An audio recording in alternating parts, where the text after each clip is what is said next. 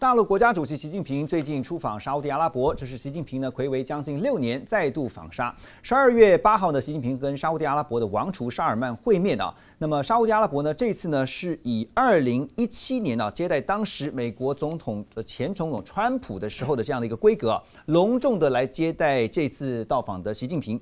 那么跟七月份。还记得吗？美国总统拜登呢也去了沙啊沙特，也就是沙特阿拉伯呢，跟沙尔曼会了面。不过呢，呃，两次对照起来的话，形成了非常鲜明的对比啊。我请教介大使的是，呃，美中访问沙地阿拉伯在接待规格上面这个鲜明对比所透露出来的政治讯息，您会怎么解读？呃，简单讲的话，就对沙地阿拉伯来讲的话，美国是哈是过去式加一点点现在式，嗯。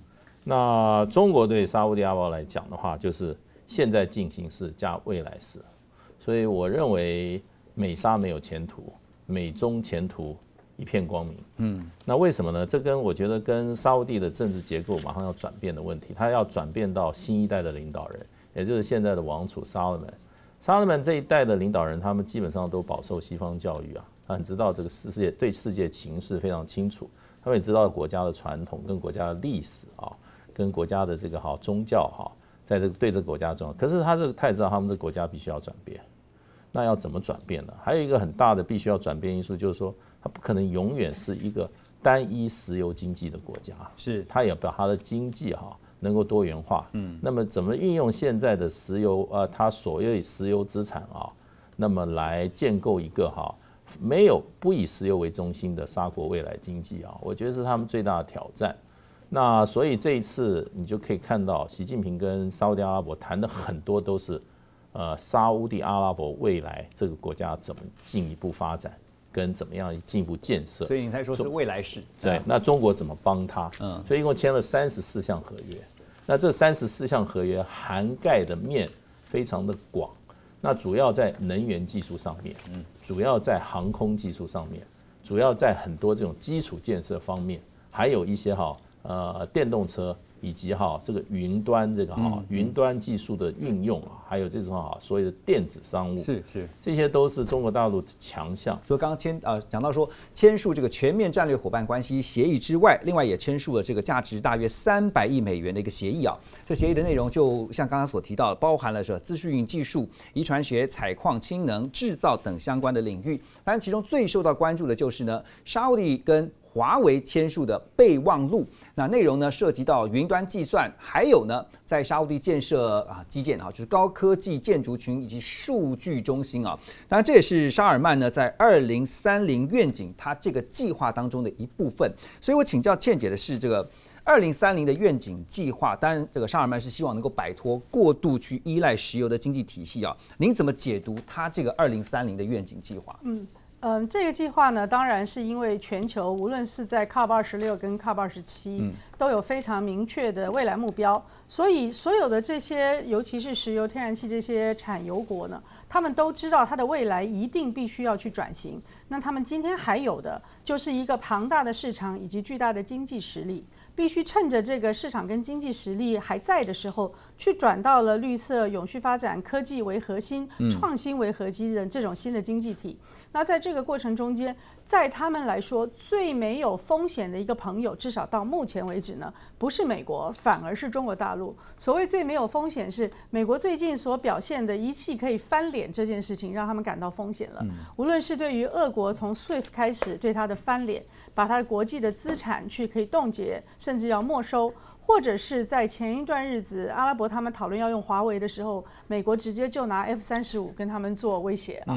所以还有说，那以后 NASA 你们也不要跟我合作了。所以你仔细去看啊，能够真正的提供。转型所需要的这些新的科技、新的计算方式，包括后来军事武器这些，全部呢，现在最完整的一个单一的 single source 其实是中国大陆。所以，我们回头来看一下，就是习近平先生他这次在这个大会里面，跟海合会的国家大会里面，他讲的几件事情啊。第一个是说，我们会持续从海合会国家持续大量进口原油，所以你现在的市场没有问题。第三呢？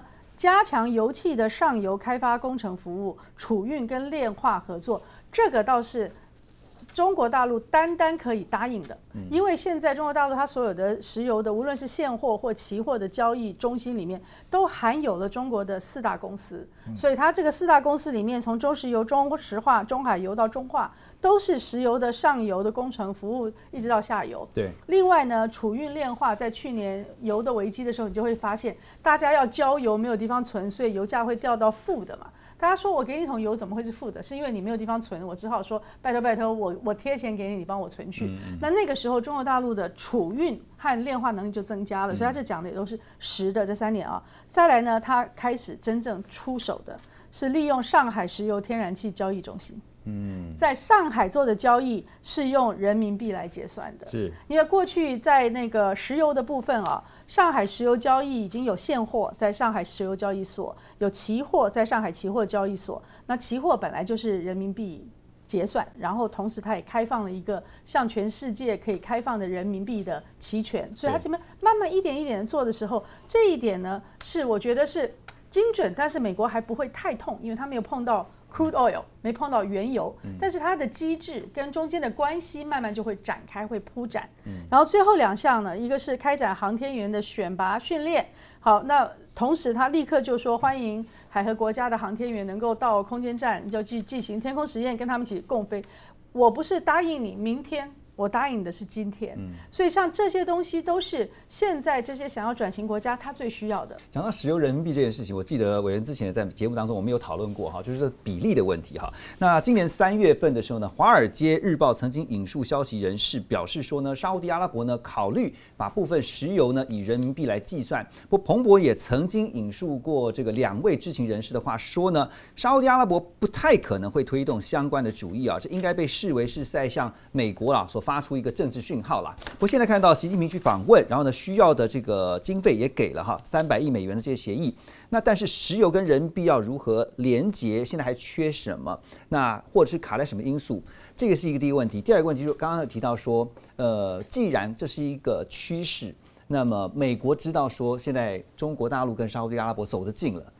想问的是，说他会不会在后面有些动作？我是让中国跟伊朗啊，还有俄罗斯签原油采购协定，都是直接注明币值了。嗯，那个时候注明的是欧元啊。那因为伊朗跟俄罗斯都是跟美国对着干的，他根本不在乎。是，可是沙特还是不一样啊。所以刚刚倩姐讲的那个比较曲折的道路啊，我觉得沙特阿拉伯就是要做一些。啊，比较审慎的考虑了，比如说原油采购协议，他就不会去注定注明币值了，嗯，因为这样太直接了，就稍微要做的有技巧一点。哦，比如因为可是它还是会有多方会用到人民币了。举个例子啊，比如说义乌，它已经跟阿拉伯，就是沙特阿拉伯已经做了第一次的人民币的跨境支付，嗯哼，那这个就意味着阿联酋那个杜拜龙城啊，这个超级的那个 shopping mall 的模式。一定会复制到沙特阿拉伯嘛？是，那基本上都是，基本上都是批发商了啊，这个批发商啊。那第二个，比如说刚刚倩姐有讲到了，就是那个墨尔班那个原油期货跟上海的对接了，这个部分一定最后还是会用到人民币了。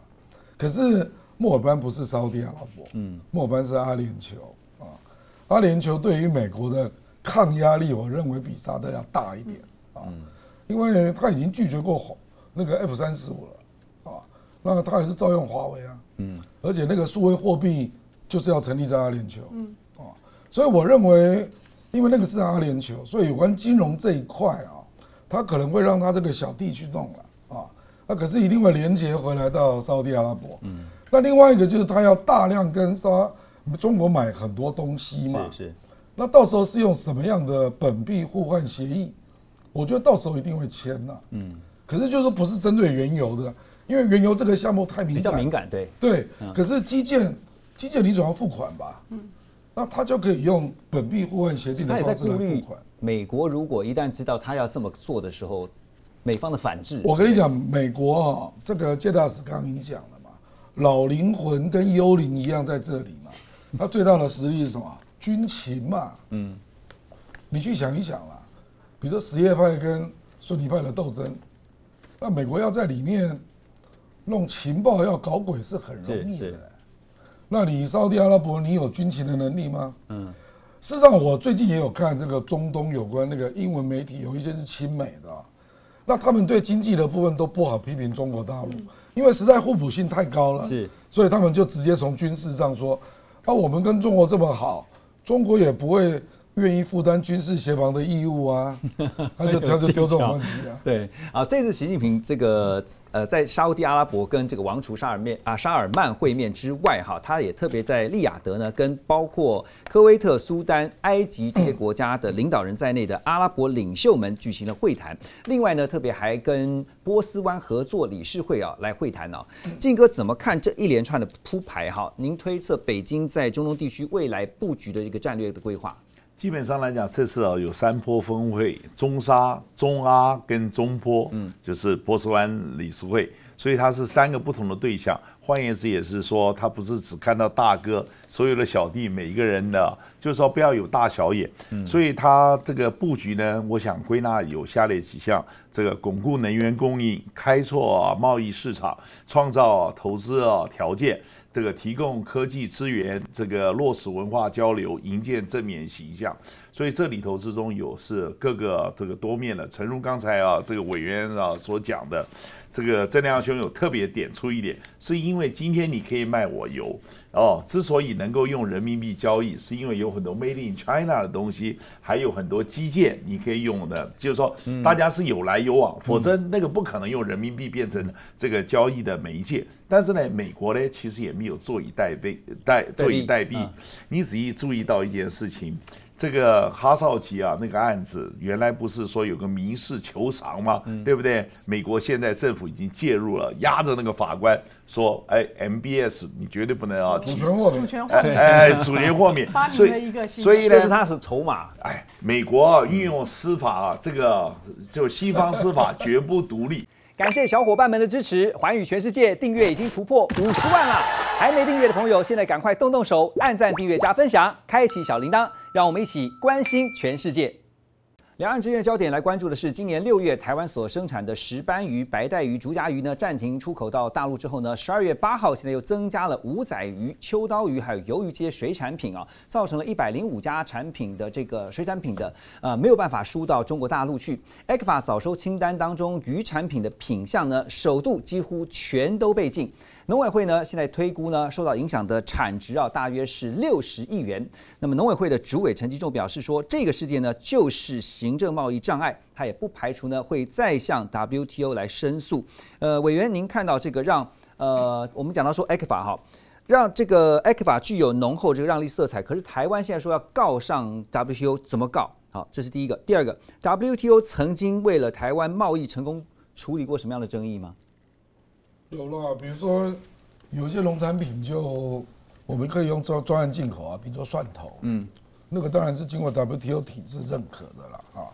这件事情有点悬呐，玄玄妙之处在，不，因为中国大陆在去年四月就公布了，嗯，说他要采取一个新的注册，是。他要求要一起一起注册啊，那说避免地区或国家有一些状况了啊。那到目前为止。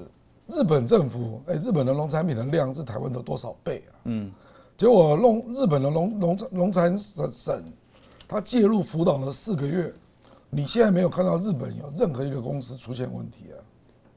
本来是台湾，你有看到亚洲国家有其他像我们这么惨烈的吗？嗯啊，那他本来是说今年的一月要实施嘛，那事实上他也不断的给台湾一些缓冲期，嗯，那一直到佩洛西来台。他就做了第一次的公布啊，那那次公布大概波及的范围大概有百分之六十四，嗯哼，那这一波都快变成九十九了。而且这次呃，除了水产品之外，哈，这两天你看到今天最新的就是呢，再进什么呢？台湾啤酒、金门高粱、黑松维他露呢，现在都在等哈，也都准备要暂停进口。所以这个跟生鲜没有关系嘛？嗯。完全是一个注册程序的改变，是。那你要不要配合人家？那我今天看到一个报道，他说他这个注册程序的改变也有向 WTO 报告，嗯，所以事实上 WTO 也知道，所以这里就很诡异了，就说吴秀梅啊，我们的那个食药署的署长，他也说去年他不断的在催促业者，看有什么问题要回报，请问中间发生了什么事？你要去问陈吉仲啊，你怎么会这么状况外呢？嗯，还有经济部都不知道吗？呃呃，我请教倩姐，因为倩姐是前金九的董事长啊，现在金九要被禁了。那当我们讲说去年其实就已经有，请你赶快的按照程序，赶快的去补完该有的这些东西，怎么会拖到现在发生了这样的事情？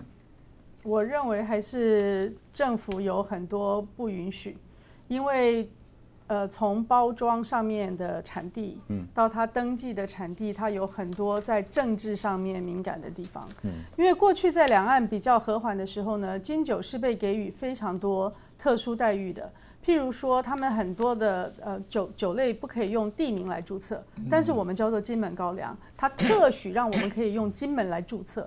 所以这些东西都是过去在两岸比较和缓的时候给予我们的特殊待遇。但是现在在两岸这么紧张的情况之下，他如果要求你，无论是你的原产地、你的包材、你的包装上面全部都要注明他们所需要的。据我今天听到，我不敢讲，是因为我不能确定，我没有听到政府官方的讲法啊。那据他们说是要一定要注册为中国台湾嘛？那如果是要用中国台湾或是中国台湾省或是什么样的这一类的？可能我认为事情真的不是那么简单，它就是一个政治，而不是一个经济或是个别企业可以解决的问题了。那我进一步请教哈，就是说我们刚刚提到说，其实可以向 WTO 去申诉，而且过去也曾经有例子嘛。可是如果这一次像这个专家在这里，WTO 的专家来大使，我们如果向 WTO 申诉的话，有胜算吗？对，呃，这个不管有没有胜算的话，WTO 你如果进入到争端解决机制的话，大概三年。而且哈，你这三年之间的话，你就你这个案子不会有进展。嗯，中国大陆说打官司嘛，打完再说嘛。所以这个这种诉讼不是一个好解法。陈吉仲上次也开始说我们要到打官去申提告，结果后来他是在所谓的食品卫生委员会，那或者说哈防疫检疫委员会里面，他提出一个报告，由我们与会的代表我表示抗议。那这一类的这一类的表示抗议的这种哈发言哈，在里面啊，那司空见惯。这样有没有进入程序？这没有程序哦，这没有程序，这就是我在这个，我就在这个，在这个会里面，我在这个委员会里面，我的代表在里面表示表示提出这个意见案。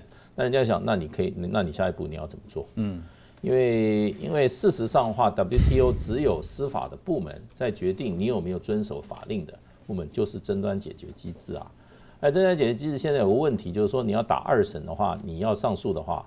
对不对？你可以，你可以一审，我就说，那大陆说我输了，我不我不上诉了。如果说我要上诉的话，那对不起，那个所谓的上诉上诉审现在被被被废了，法官被废了，所以这个机制也被废一半啊。所以陈其重，我觉得他是骗台湾老百姓不太懂这件事，一下就把 WTO 提出来了。你去年四月中国大陆就公布的法令。对中国大陆也依规定向 WTO 登记，这个叫好，这个叫什么叫通报制？嗯，你任何的贸易相关这个好法规，你都要向 WTO 去通报，这个是作为 WTO 会员的基本义务。所以你这个经济部或者说农委会，你任何的这个相关贸易的法规哈，你一定要交到 WTO 代表团去给他上上去通报。我刚刚听大使讲三年，我都我如果是业者的话，我就我跟你讲，就没刚讲那个才严重。如果那个是真的话，那就等于是台湾所有的终端产品，嗯，就本来是 made in Taiwan 的，那你要到大陆重新注册，都有类似改名称的问题了。嗯，他现在只是说，现在只是针对食品，对不对？嗯，我们台湾出口到大陆的终端消费品。不是只有食品的，我这个品相很多，这个这才是一个非常大的因素啊，对啊。嗯，它可能不必改名称，但是你的产地的那些注记啊、包装、包材那些都会有影响。而且那这个就是绝对的政治了，这不是一个经济问题。而且你不觉得 timing 很巧妙吗？就在农历年前，接下来因为预计今天我看到报道还有讲说下周可能还有，但不知道是什么品相。我我觉得不是农历年前，也是在那个白皮书之后，二十大之后。二十大之后是一个，就白皮书跟二十大之后是一个新的开始嘛，新局了。嗯，好，我继续请教庆哥哈。我们看到水产品被禁止输入的同一天啊，前行政院长 这个刘兆玄呢，那他在呃跟中共中央政治局的委员啊，北京市委书记尹力见面啊，因为他这次是参加这个两岸企业家峰会哈，台方的代表嘛。那同场参与的还有国台办的主任刘杰一，在会后的新闻稿表示说呢，要成立专案小组，要推动两岸的电动车还有自驾车这些车用电子的合作啊，希望能够达到互利双赢。可是我们刚才提到嘛，禁止这个台湾的水产输出，但现在在电动车上面要推动合作，那你怎么看这个事情？这个台湾大陆的互动，从政治的角度思考，怎么样才是一个最佳应应方案呢？哎，对不起啊，这个一码归一码了，就是说很多事情你又不希望啊，这个政治啊，去干扰经济。但是我明明都知道，这个就是它是要一个铜板的两面，政经是相互影响的。所以你要万赚人家口袋中的银子啊，你就要遵守对方的规矩嘛，对不对？不要去哦，就是戴着有色眼镜去看对方，然后觉得人家的规定啊都不合理，那奇怪了，那全世界其他国家都遵守，就只有你不遵守。我们今天啊做生意呢，必须要和气啊才能生财。我觉得这个时间点啊。这个我觉得是无论如何，这个事情是要发作出来。二零二四的选举到现在真正呢，就是说还有十四个月到十七个月。假如按就职是十七个月，假如论投票，很可能只有十四个月。嗯，所以与其晚发，不如现在噼里啪啦全部发完了。刚刚突然想到一句话：有关系就没关系，没关系就很有关系哈。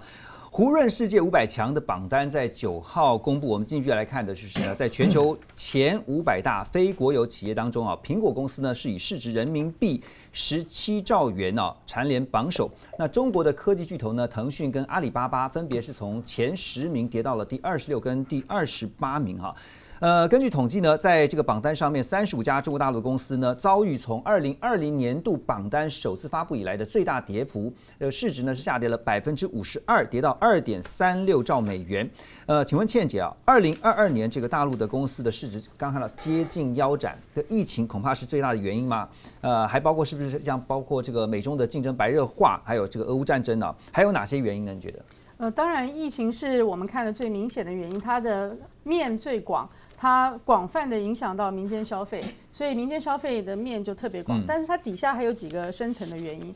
第一个是在同一个时间啊，大约同一个时间，房地产。发生了问题，所以房地产跟银行的联动，这里有一个很大的窟窿，要怎么样去解决？怎么样能够保交房，让这个没有社会动荡？这些东西呢，都需要资源的投入。嗯。第二呢，这个所谓的市值腰斩，主要就是在资本市场上面上市的公司，他们的市值比较容易受到这些大的影响。那大的影响有两个面啊，一个是美国的管制，大家都开始知道说，从威胁下市的清单要经过它的审计规则，还有它的。业务面受到大量的管制，出口的产品许可也紧缩，所以在美国的这些中概股，事实上他们的市值是掉很多的。另外呢，就是中国政策的改变，譬如说教育的改变，就是二零二一年有七月开始有很多啊，教育体系的改变，蚂蚁金服、滴滴，像这些东西呢，都对于。全世界的资本市场送出一些很大的讯息，使得他们相关的公司呢联动上来说，市值也掉的很多。最明显的，大家看到的当然就是阿里巴巴了。阿里巴巴是最明显的，它就是在美国也变，中国也变，这些地方联合起来的时候产生的冲击。嗯，所以一个是整体的社会的消消费受到封城防疫的影响很大，第二个是说它的资源的配置挪移以后，房地产跟银行中间产生了一些风险。那所以那些本来很大市值的这些房地产公司啦、金融公司，他们也受到了影响。再来就是在资本市场上面上市的公司，受到美国跟中国两边的政策的影响呢，而使得他们市值受到巨大影响。那既然是政策使得它的市值影响哦，政策改变的时候呢，也会让它有一个反弹的机会。譬如说最近你看到。中国大陆开始准备开放的时候，香港的股市就大反弹，对，恒生一下就涨了差将近三成。然后如果说在美国跟中国中间这些贸易的限制有一些东西可以拿开，或者是有一些东西中国大陆放宽它的管制，让它继续可以上市的话，它会再有一波的往上走。所以这一段就是真的就是资本市场是金融那个游戏中间的问题，而不是。呃，大家觉得说啊，这些公司或者是中国的整体实力的问题，它其实是个金融的问题。这个市场很敏感啊，这个看到最近这个呃风控微微的这个稍微的缓和哈，但是也传出说是跟郭董的一封信有关，怎么看这个事情？马上回来。感谢小伙伴们的支持，环宇全世界订阅已经突破五十万了。还没订阅的朋友，现在赶快动动手，按赞、订阅、加分享，开启小铃铛，让我们一起关心全世界。欢迎回来，环宇全世界。继续来看的是《华尔街日报》在八号呢引述了多名知情人士的说法，报道说，这个红海郭台铭啊，就是创办人呢，在十一月曾经致函给北京高层，表达如果继续执行严格的防疫清零政策，会威胁中国大陆呢在全球供应链的枢纽地位。那希望呢中央对富士康郑州厂区的防疫限制措施能够更加的透明。可以看到这个原文啊，都是出自于这个《华尔街日报》。那特别强调说，有有这个写了一封信哈，给这个 Chinese leaders。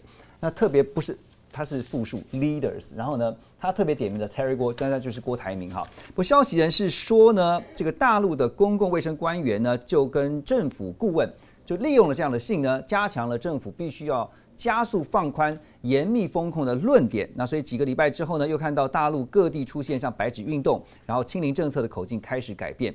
几个时间点哈，第一个看到《华尔街日报》的报道，第二个新闻在台湾的九合一大选之后出现，那大家大家也会联想哈，就是说二零二四年郭台铭会不会出来参与这个大选哈？我请教一下委员，因为这个您非常熟稔政治的运作，您怎么看这件事情？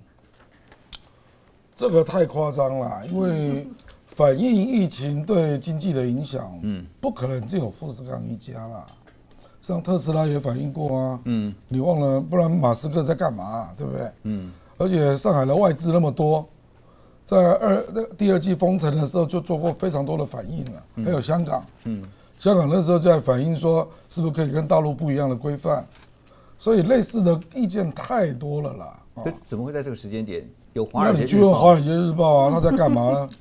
对不对？像白纸抗议，也只有看到美国跟 BBC 争一大堆啊。嗯。事实上有那么严重吗？嗯。对不对？所以你你要去问他们的动机何在嘛？嗯。而且据我了解，大概在这个解封之前，大概一个多礼拜了。事实上，广州跟深圳地区就已经传开了。嗯。说即将解封了。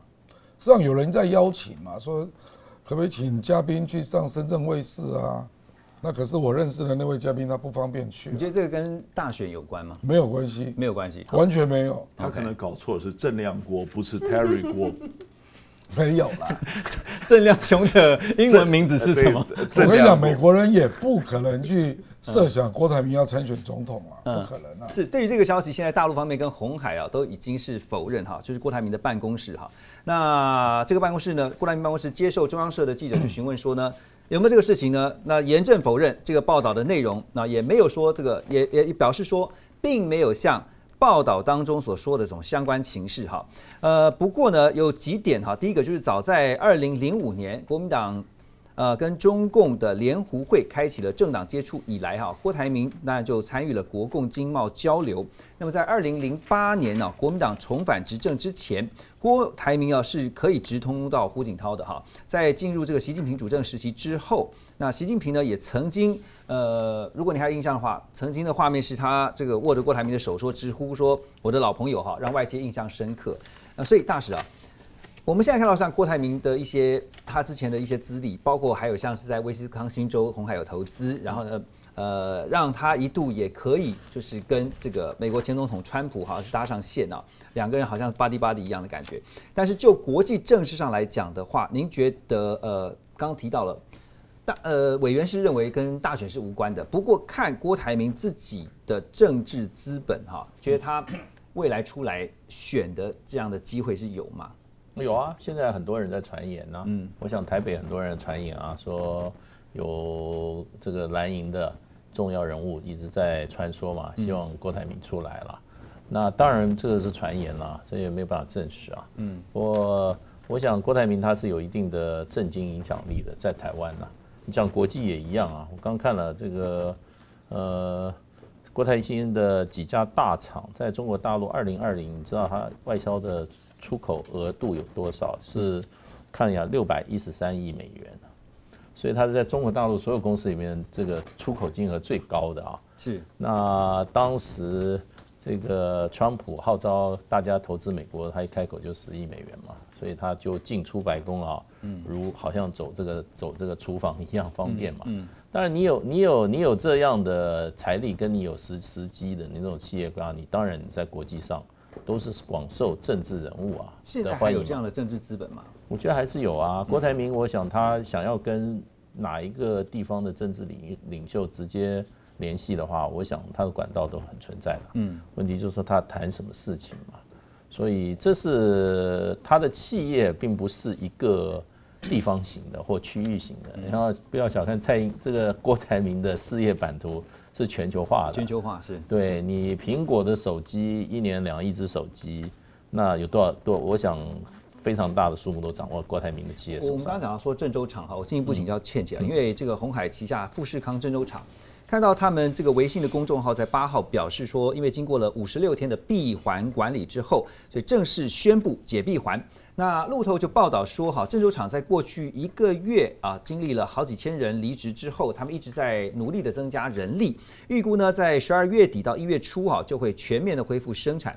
那红海呢，在先前表示说，十一月的营收比去年同期减少了百分之十一点四，到五千五百一十点九亿啊。那前十一个月的营收呢是累计五点九九兆元哈，呃，年增是百分之十一点六。您看这个大陆在啊，就是从郑州厂挺过疫情，然后前十一个月的这样的疫情，呃，数字上面是有增加。从这个数字上面来看的话，在大陆台商的经营现况，我们怎么观察？嗯，我们稍微再讲一下这个红海，嗯因为它现在预期说十二月的时候，它可以回到原来的加动率的百分之六十嘛。对。那补回来的员工也会是在原来的四十到五十百分点。那么这件事情就对 iPhone 十六 Pro 很重要了。刚刚大家特别讲到了苹果，在整个的苹果的最大的产能，当然就是郑州厂了。所以说你可以看到它。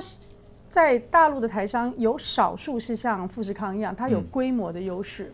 那么它有极大的规模优势，所以它也碰到了极大的冲击。更多的台商呢，他们目前大部分都还是外销的，就是说在中国大陆制造以后外销的。是而中国大陆在这疫情的这几年中间呢，外销的订单受到的影响其实是最小的。嗯嗯，所以台商的运营，就是它的它的营收的部分、订单的部分，影响并不是很大。甚至呢，前段日子就算是供应链有问题的时候，那么这些的成本就转嫁到了最后的终端买主。在美国要调降关税的时候，成本也是转到终终端买主，所以台商影响并不是很大。但是整个的运作发生困难，倒是一个非常普遍性的问题，就是人事的运作，那个所有的供应链的运作发生了很多的困难。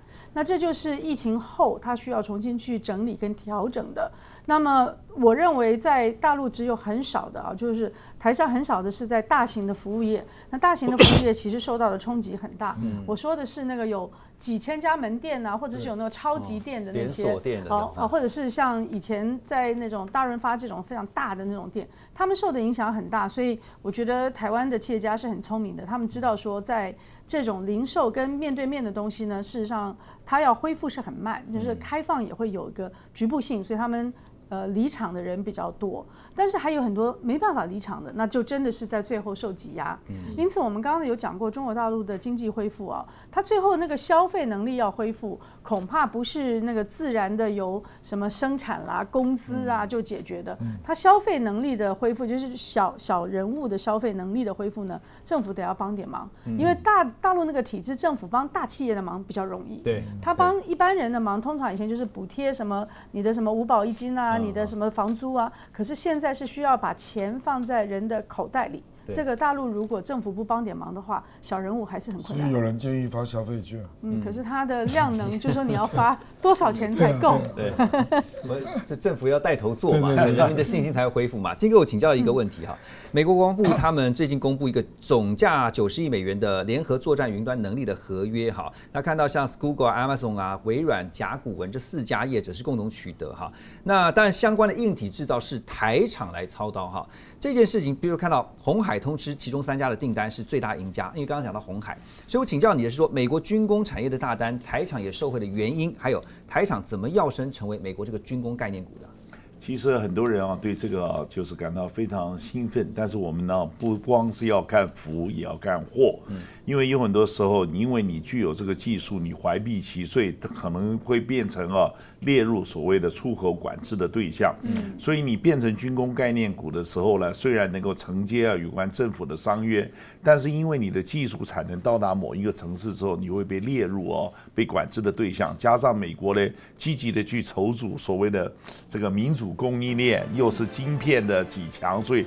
所以你今天这个只要沾了这个，将来这个很可能，因为我们可以眼睁睁看到嘛，在美国的政治的运这个就是说操作之下，硬是把这个台积电抓到阿尔扎嘛。那你今天这些会被将来一个一个被抓走？这是我们今天要去面对的困境，也是隐忧。而且呢，到时候呢，你明明原来可以跟中国大陆去做生意，到时候美国就来干涉，哎，你因为你做了这个承接了这些军工的这个合约，所以你就不可以去卖。所以在这个情形之下，我是感谢小伙伴们的支持。环宇全世界订阅已经突破五十万了，还没订阅的朋友，现在赶快动动手，按赞、订阅、加分享，开启小铃铛，让我们一起关心全世界。